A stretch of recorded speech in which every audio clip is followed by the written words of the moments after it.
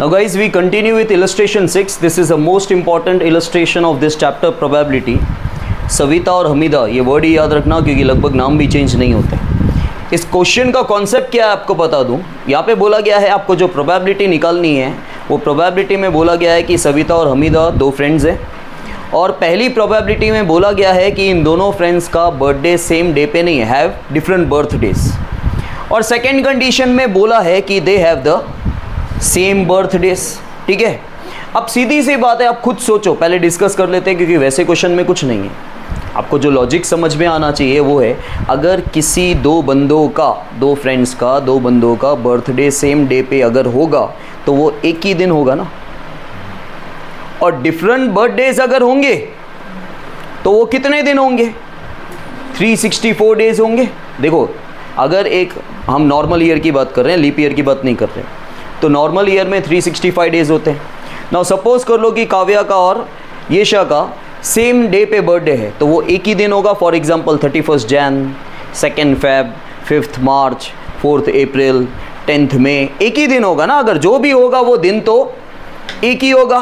तो जब same birthday था तो इनकी प्रोबेबिलिटी का आंसर आया one by three sixty five ठीक है? तो बट ऑब्वियस है कि दूसरी कंडीशन इसकी ऑपोजिट है।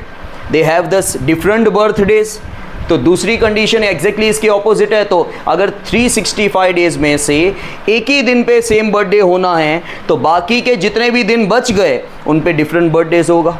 इसका कोई और क्योंकि देखो, इसी तरह ही निकाला जाएगा। यहाँ पे क्या है? पहले आपको सेम बर्थडे के देखो, जबकि कंडीशन क्वेश्चन में पहले डिफरेंट बर्थडेज की दे रखी है। लेकिन आपको सेम बर्थडे के बारे में सोचने का तो ही आपको एक्सप्लेनेशन आएगा। अगर आपको सेल्फ एक्सप्लेनेशन चाहिए तो सिंपल सा, आप एग्ज़ाम्पल लेके देखने का, कि दो बंदे हैं, इन दोनों का सेम बर्थडे होगा तो वो एक ही दिन होगा ना? कोई भी दिन होगा, लेकिन वो होगा तो एक दिन। तो 365 में से एक ही ऐसा दिन है, जिस पे सेम बर्थडे है। तो डिफरेंट बर्थडे होता तो 364 डेज़ आते, ठीक है? तो यहाँ पे सबसे पहले हम लिखेंगे total number of days in year normal year या रेगुलर ईयर लिखने की ज़रूरत नहीं है, क्योंकि लीप ईयर होता है तो मेंशन करना होता है लीप ईयर बाकी नॉर्मल ईयर ही है। Therefore total number of primary outcomes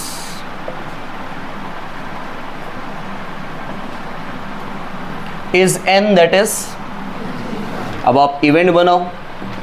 A equals to event that Savita and Hamida, या हमीदा एंड सविता कुछ भी लिख सकते हो। Have different birthdays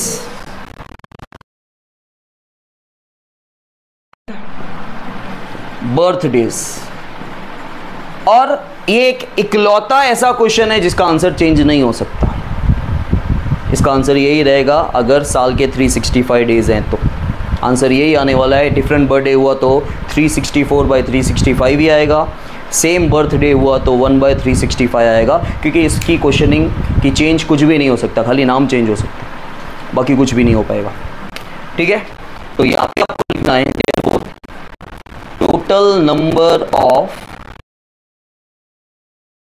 comes is M 365 में से वन माइनस कर दो। आप बोलोगे, सर वन क्यों माइनस कर रहे हो? क्योंकि एक ही दिन ऐसा है जिस दिन सेम बर्थडे होगा। तो आपको क्या चाहिए? आपको सेम बर्थडे थोड़ी चाहिए। आपको चाहिए डिफरेंट बर्थडेज आ गया M therefore probability of A equals to M by N that is 364 by 365 now second event that Savita and Hamida have same birthday ठीक है? Therefore total number of favourable outcomes is M that is one ठीक है? So probability of B equals to M by N one by समझ में आया? देखो, आप कभी भी डिफरेंट बर्थडे का एक्सप्लेनेशन डायरेक्टली नहीं दे सकोगे। तो पहले आप ये सोचो कि भाई, अगर सेम बर्थडे हुआ तो वो एक ही दिन पे होगा। ठीक है? इसलिए एम आ जाएगा वन अब उसके अलावा, क्योंकि देखो, ये दोनों कंडीशन एक दूसरे के ऑपोजिट है। आप वो वाला भी फॉर्मूला यूज़ कर सकते थे, इसमें P A plus P A complement equals to one तो भी आ जाता। तो भी सेम आंसर आता, क्योंकि ये दोनों एक दूसरे के ऑपोजिट है। Have same birthdays have different birthdays समझ में आया? अब तुम्हारा टेक्स्ट बुक का क्वेश्चन नंबर सेवन निकालो। कैंडी वाला। सिक्स फिफ्थ और सेवेंथ कर लिया हमने। Six question okay six question में देखो, एक बैग या एक बॉक्स के अंदर कुछ कैंडीज है। कितनी कैंडीज है? पहला सम है जहाँ पे टोटल नहीं दिया हुआ है। तो आपको एज्यूम करना है कि एन कैंडीज़ है। कितनी कैंडीज़ हैं? Because we don't know how many candies are there और कभी भी किसी का नंबर जब एज्यूम करना होता है ना तो ज़्यादातर हम एन लेते हैं। ठीक है? बाकी आप कोई भी लेटर ले सकते हो। अब यहाँ कहा गया है a bag contains lemon flavoured candies only एक बैग के अंदर सिर्फ़ लेमन फ्लेवर्ड कैंडीज है। पहले से ही बोल दिया कि जो जो भी कैंडीज है, अंदर जितनी भी कैंडीज हैं वो कितनी है पता नहीं, लेकिन जितनी भी हैं वो लेमन फ्लेवर्ड है। Now Malini takes out one candy without looking into the bag without looking मतलब रैंडमली ठीक है? मालिनी ने हाथ डाला, एक कैंडी लेकिन भाई, जो भी कैंडी निकलेगी निकलेगी तो लेमन फ्लेवर्ड ही, क्योंकि है ही lemon flavoured what is the probability that she takes out an orange flavoured candy अब ये जादू तो नहीं हो रहा है। पहले आपको दिखाया लेमन फ्लेवर्ड है, देखो। कौन सी निकली? ऑरेंज फ्लेवर्ड ऐसा तो होगा नहीं।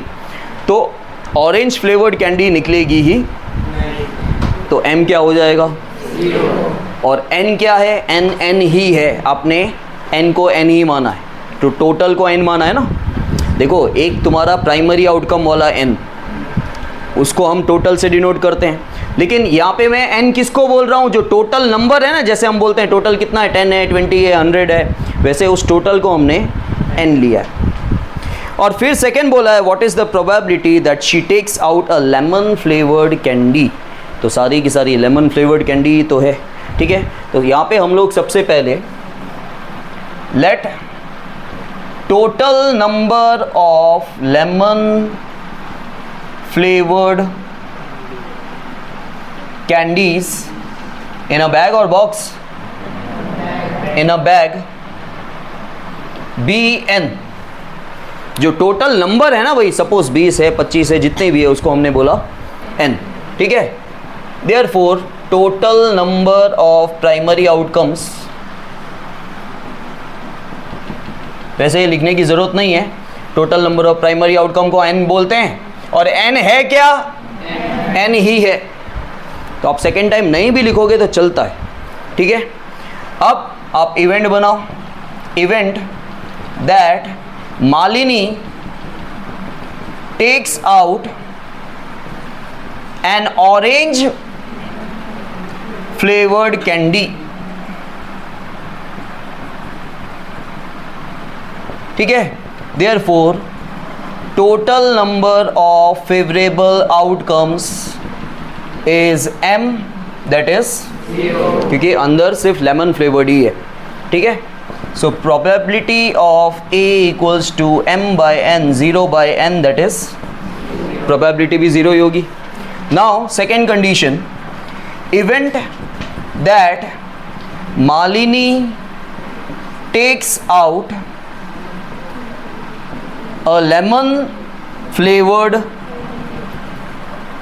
candy or candies therefore total number of favourable outcomes अब देखो, जब इसमें कन्फ्यूज़न हो ना इसके आंसर में तो आपको सोचने का पहले वाले क्वेश्चन सोचने के, कि आज आज बैग में से सपोज़ कर लो आपको रेड बॉल निकालने। और बैग के अंदर रेड बॉल है ग्रीन भी है वाइट भी है। तो जब आपको रेड निकालने होते थे तो रेड का आंसर क्या लिखते थे? जितने टोटल रेड होते थे। वही लिखते थे ना, पाँच अगर रेड होते तो आप क्या लिखते एम में? फाइव लिखते। तो आपको जो निकालना है वो लेमन फ्लेवर्ड कैंडीज़ है। तो लेमन फ्लेवर्ड कैंडीज़ का टोटल क्या है? तो आएगा। So probability of B equals to M by N so M be N है और एन बी एन है तो आंसर आएगा। So it is sure event is that clear